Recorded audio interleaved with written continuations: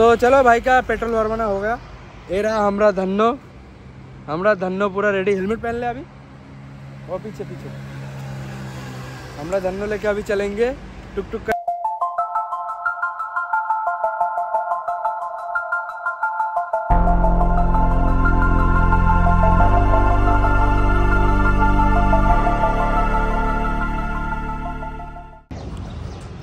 सबको राम राम और अभी तो रात के बारह बज रहे और देख ही सकते हो, पूरा ड्रेस अप करके, पूरा रेडी होके निकल रहा हूँ।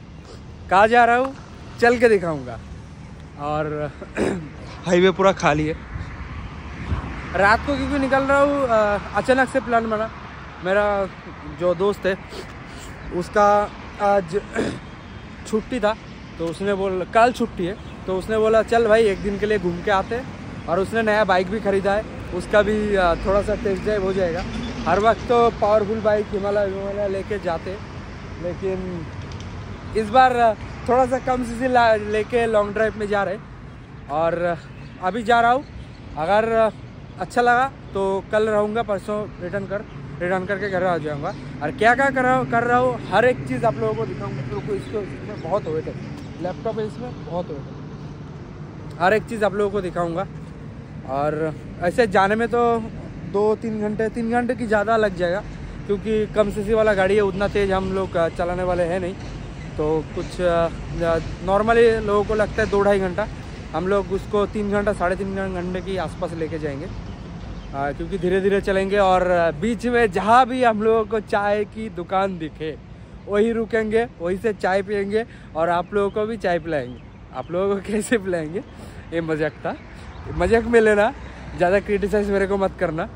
तो चलो, जाया जाए और आप लोग साथ देना। और एक रिक्वेस्ट आप सब लोगों से, कि आप सब लोग इधर इधर! सामने से भी जा सकते। इधर से भी उठान लेके जा सकते। तू सामने से भी जा सकता है, जिधर से जाना चाहे।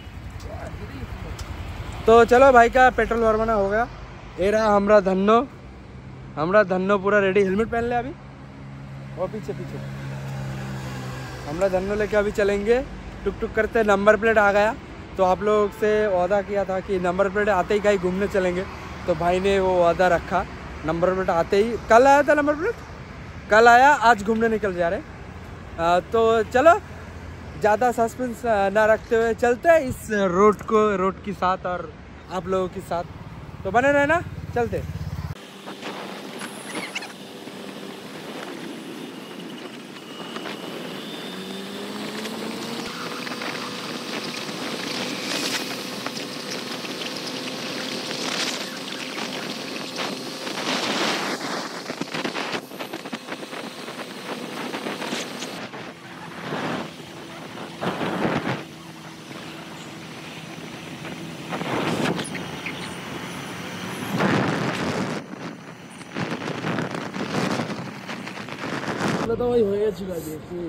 तो अभी हम पहुँच चुके हैं कैनिंग और चाय पी रहे देखो भाई का चाय चाय का गिलास भी नया है।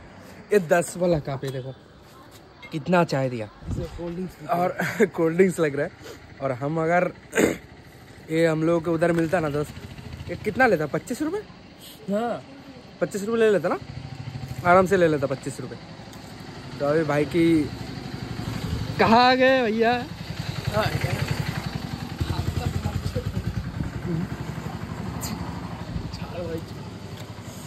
ठंड है इतना बाइक तो चला रहा था। मैं तो पीछे ऐसे बैठा था ऐसे। तो मेरे को उतना हाथ में हाथ ठंडा हो गया। ग्लास पहना था? उसके बाद भी हाथ वो बीबी जी का ग्लव्स पहना था। ये देखो। ठंड लग रहा है। बीबी जी का एक ग्लव्स पहना था फिर भी उसका हाथ पूरा ठंडा हो गया। खाएगा बिस्कुट तो? नहीं। बहुत मीठा है। खा लेती खा। चाय ना ठंडा हो जाए यही सोच रहा हूँ मैं।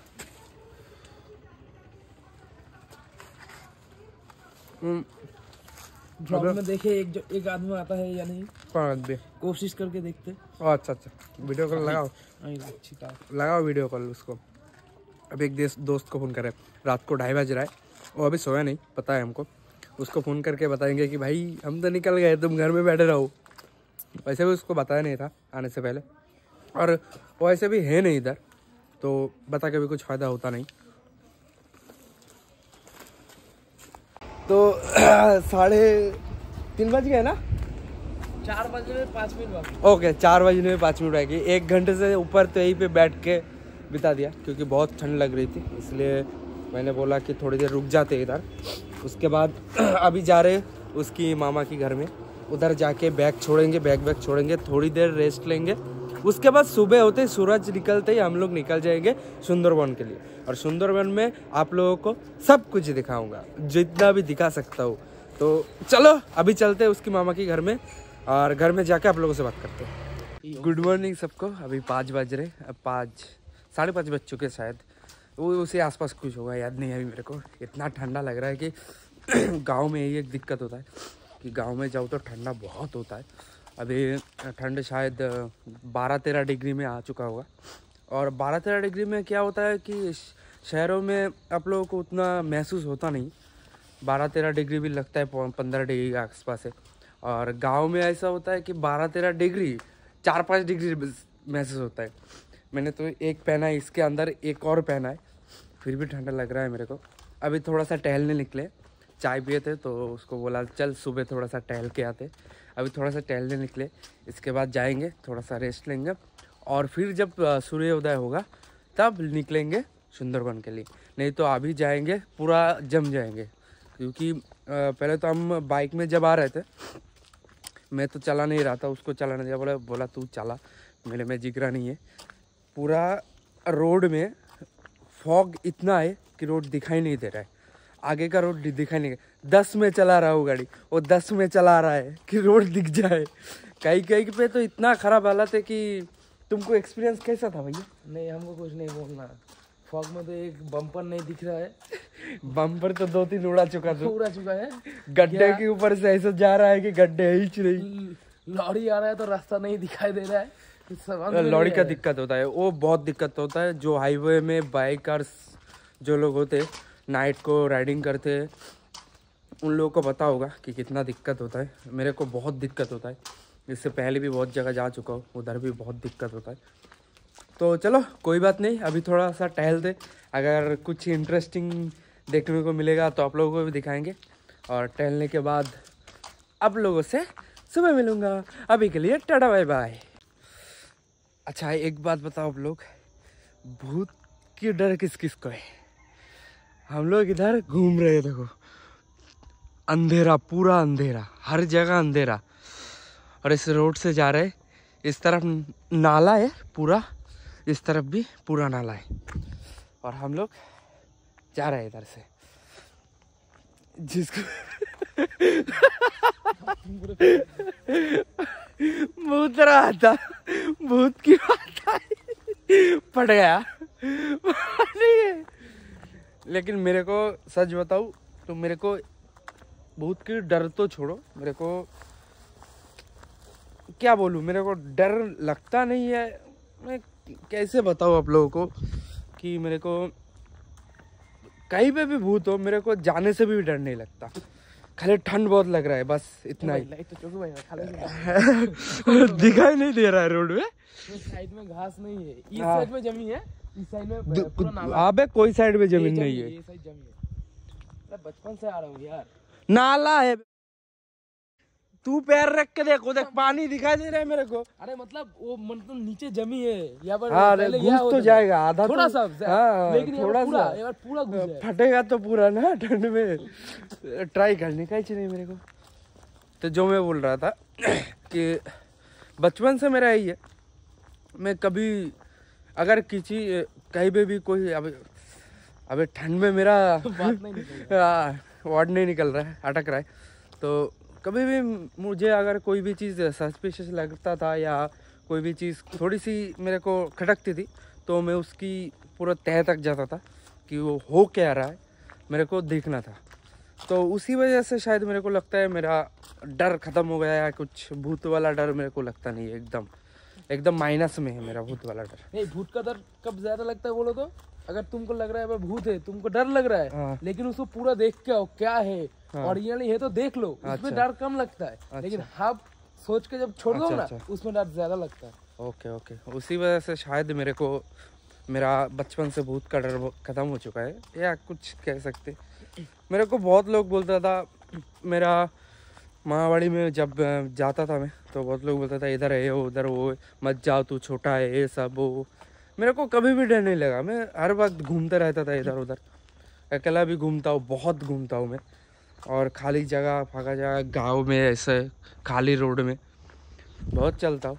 लेकिन डर नहीं लगता मेरे को। मेनली अभी भूत नहीं है क्योंकि भूत के रहने का जगह में तो लोग रह रहे हैं। घर बारी हो गया कहाँ रहेगा वो लोग? वो लोग तो और ऐसे भी भूत का डर मेरे को और एक चीज़ की वजह से नहीं लगता है क्योंकि मेरे साथ कोई हर वक्त रहता है। जिनको पता है पता है उनको पता है होगा। इसलिए मेरे को डर लगता ही नहीं। खाली मेरे को डर लगता है एक ही चीज़ से और वो है इंसान। क्योंकि इंसानों से ही डरना अच्छी बात है भूत से कौन डरता है? सुबह सुबह मैंने तो ब्रास लेके आया नहीं।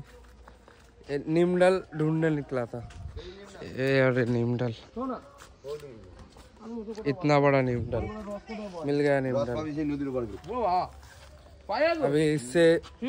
दांत का सफ़ाई करते हुए चलेंगे। और ये तो ब्रश लेके आया था, एक दिन के लिए ब्रश लेके आया था। मैंने तो पहले का सोच के ही निकला था कि गाँव में जा रहा हूँ। नहीं नहीं, गाँव में जा रहा हूँ। नीमडल से अगर दातुन नहीं किया तो क्या किया? ये देख नीमडल। और किधर गए हम ढूँढने? तो हाँ तोड़ देते क्या फ़र्क पड़ता है हम वो जंगल में चले गए नीम डाल तोड़ने। ठीक है कोई बात नहीं। दातुन कर लेते पहले। अभी देखो इससे तो हो गया दातुन। अभी एक घर ले जाऊँगा मैं और इससे एक दो साल और काम चलाऊँगा क्योंकि निबडल डाल से दातुन करने से बहुत फ़ायदा होता है दांत का। जिनको पता है, उनको पता है। जिनको पता नहीं, वो सोचेगा कि क्या गाँव से आया हुआ गवार है। हूँ मैं गवार हाँ हूँ। तो क्या करोगे? हूँ मैं गवार। ये रहा शहर का नवाब। इधर आके भी देखो, ब्रास पकड़ में लेके घूम रहा है। और है, हूँ मैं गाँव का गवार। मेरे जैसा हर कोई गाँव में जाके एडजस्ट नहीं कर सकता। मैं जितना गाँव में एडजस्ट कर सकता हूँ, कोई नहीं कर सकता।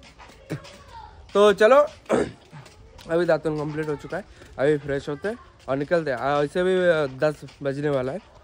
सोच रहे थे, सोचेंगे सुबह तो जब सोने जा रहे थे तब सोचे थे कि आठ बजे कि सात बजे निकलेंगे, लेकिन सो गए। तो छः बजे सोए थे ना? छः बजे सोए, अभी साढ़े नौ बजे उठ गए। अभी चल के फ्रेश होके खाते फिर निकलते यहाँ से। चलो। तो ये ब्लॉग पूरा कंटिन्यू कर जाऊँ, करने जाऊँगा तो बहुत बड़ा हो जाएगा। इस ब्लॉग को यहीं पे एंड करते और, जाते हुए दूसरे ब्लॉग शुरू करते चलो, टाटा बाय बाय